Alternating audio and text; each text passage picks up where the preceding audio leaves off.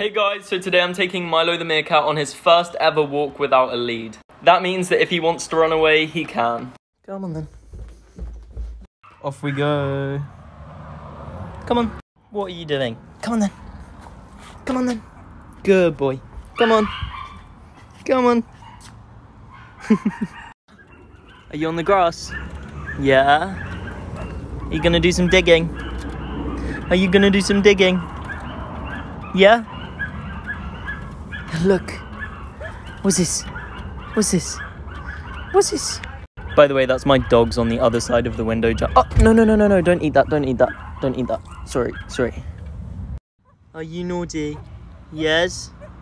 Are you naughty? Usual. Oh, you are such a good boy. Do you want to come in the sun? Look. Come on. Into the sun.